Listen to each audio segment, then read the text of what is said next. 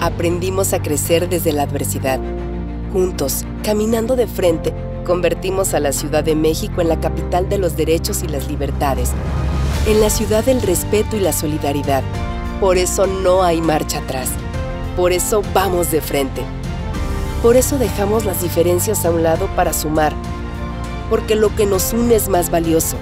Lo que nos une es el amor por la ciudad. Alejandra Barrales